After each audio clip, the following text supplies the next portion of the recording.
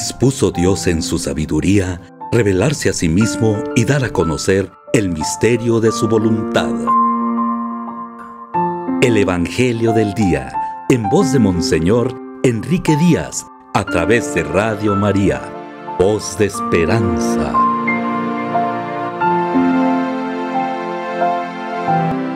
...25 de julio, fiesta de Santiago Apóstol Evangelio según San Mateo, capítulo 20, versículos 20 al 28. En aquel tiempo se acercó a Jesús la madre de los hijos de Zebedeo junto con ellos y se postró para hacerle una petición. Él le preguntó, ¿qué deseas? Ella respondió, concédeme que estos dos hijos míos se sienten uno a tu derecha y el otro a tu izquierda en tu reino.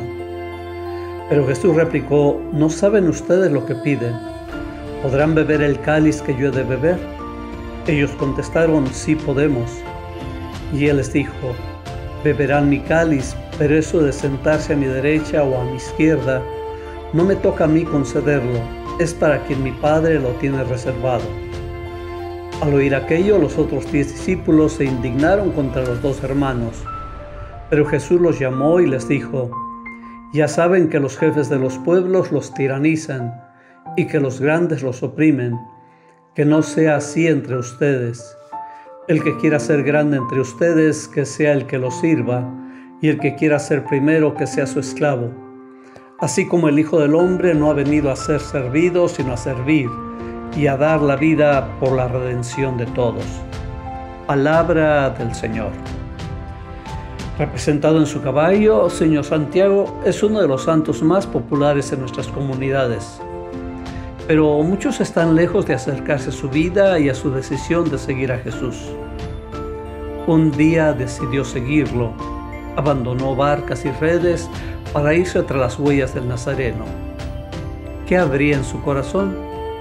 Seguramente lo habría impactado su presencia, lo coherente que era en su predicación y también sus milagros.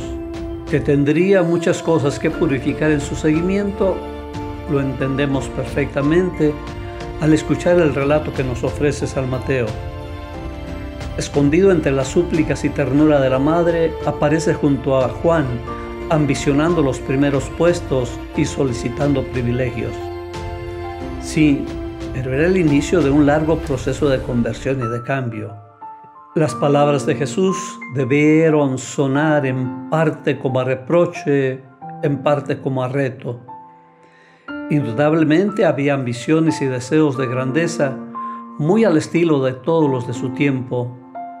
No podría separar las naturales apetencias de poder y de riqueza de un sincero reconocimiento a la vida ejemplar del Maestro.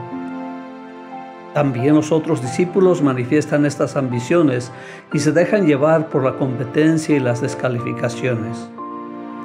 El Maestro les dice sus sabias palabras, que ahora resuenan con mayor importancia.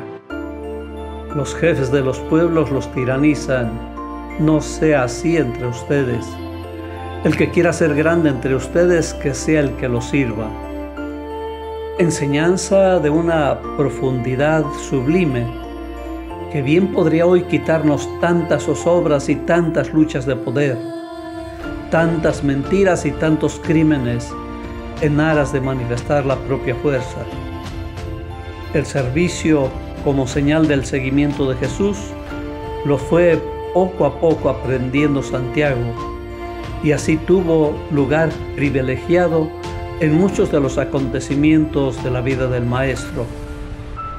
Pero también lo tuvo en su martirio, al ser el primero de los discípulos en derramar su sangre a causa del Evangelio. Que hoy aprendamos de Santiago este deseo de cosas mayores, esta enseñanza de servicio y fidelidad a Jesús hasta derramar su sangre. El que quiera ser el mayor, que sea el que lo sirva. ¿Qué te dice a tu corazón? El Señor te bendiga en nombre del Padre y del Hijo y del Espíritu Santo.